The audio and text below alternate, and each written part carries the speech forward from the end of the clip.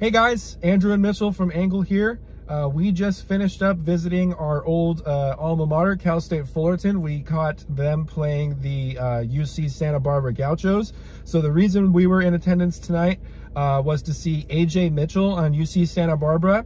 Um, as you'll see in the beginning slide, uh, he is mock drafted in a uh, from various mock drafts. He's projected anywhere between uh, late first round to mid second round.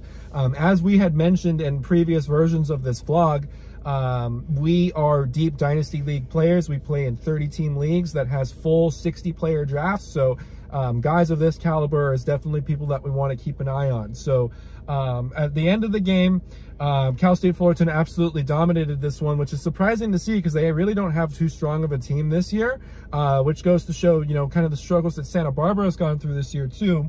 Um, so Ajay finished with 12 points, three rebounds, and four assists. With um, one one steal, That's too. true. Yep, Can't he did forget get, that. Yep, he did get one steal. So obviously, you know, looking at a nine category stat set, uh, that one steal is important.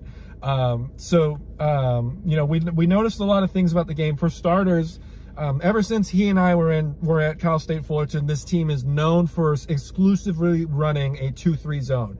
Think about, you know, the, the Jim Boeheim Syracuse 3-2 zone, uh, that, that signature team, you know, no matter what player was on that team, they always ran that zone. Cal State Fullerton pretty much does this same thing with their 2-3 zone. Um, and this was something where, you know, Mitchell had to get pretty creative to navigate through this. A lot of what he was doing was, you know, he was doing the right thing. He was attacking the gaps that are naturally there in a 2-3 zone to suck in the defense and then was kicking out to his shooters.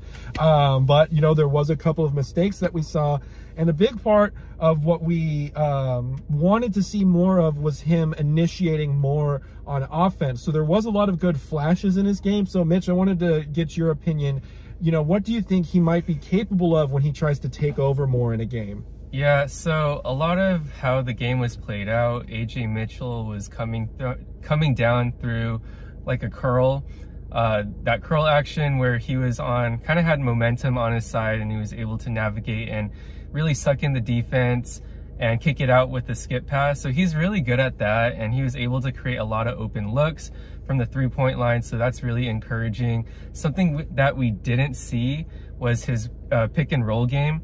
So that's, that's right. something that was really highlighted in No Ceilings draft guide that he is a pick and roll maestro when he needs to be.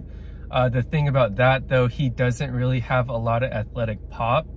So that's something that he needs to work on. Um, you, but at the same time, it's something that you either have or you don't have. Mm-hmm. But he really makes the most of it with his creativity, right, Andrew? So uh, he is a great uh, in the paint finisher at the rim. Uh, he does rely on his footwork, so he had a lot of creative drives. Um, he is pretty big. So something that we didn't mention yet is that Ajay Mitchell is a 6'4 lead guard. Mm-hmm. I believe he's around like 200, 210 pounds, mm-hmm. broad shoulders, um, but not the most, most athletic guy. So when we're thinking of a potential stat set, um, we're thinking of Ajay Mitchell as someone who can provide like a Monte Morris type uh, line. AJ Mitchell is very, uh, he is very efficient shooting the ball. He shot five for nine today, and he just needs to shoot on more volume and really play more assertive. Then he can really unlock his potential, uh, full potential per se. Someone who can, you know, really accumulate stats across the board across those nine categories. Mm-hmm. Um, Andrew, what were your initial thoughts based on the game? So when we were uh, looking through, so you know, sticking to the comparison talk for a little bit more, um, when we were looking through at different backup point guards in the league, which is what we think, you know, it's most likely going to be the ceiling for Ajay here you know, like 90% of what a back guard, what a backup point guard is in this, uh, in the NBA nowadays is usually the fast twitch, springy, um, steals and assists types player. Think Kris Dunn, think Dennis Smith Jr., Miles McBride, guys like that. That's generally what majority of backup point guards in the leagues are like. So the slower, um, floor generals who like to slow down the pace of the game and play um, to their advantage with their shiftiness and creativity. Um, guys that have high IQ who are not really prone to making mistakes. They're not going to generate those types of steals like the aforementioned, you know, Kris Dunn, Dennis Smiths, you know, the hyper athletes like that. Uh, but they're going to not really hurt you anywhere either um, in regards to nine category. Like how we mentioned Monte Morris. Another comparison we thought of um, was Skylar Mays too. Mm-hmm. Um, so those are those kind of two different categories that are out there for backup point guards the, in the league is the fast twitch um, steals and assists guys or the slow it down guys um, who are able to rely on their craftiness IQ. And these types of players are usually ones that can handle a bit more of a scoring load too. You'll see in the highlights from earlier, there's a lot of flair in his game. There was some very impressive finishing at the rim, as well as some very impressive passing lanes that he found.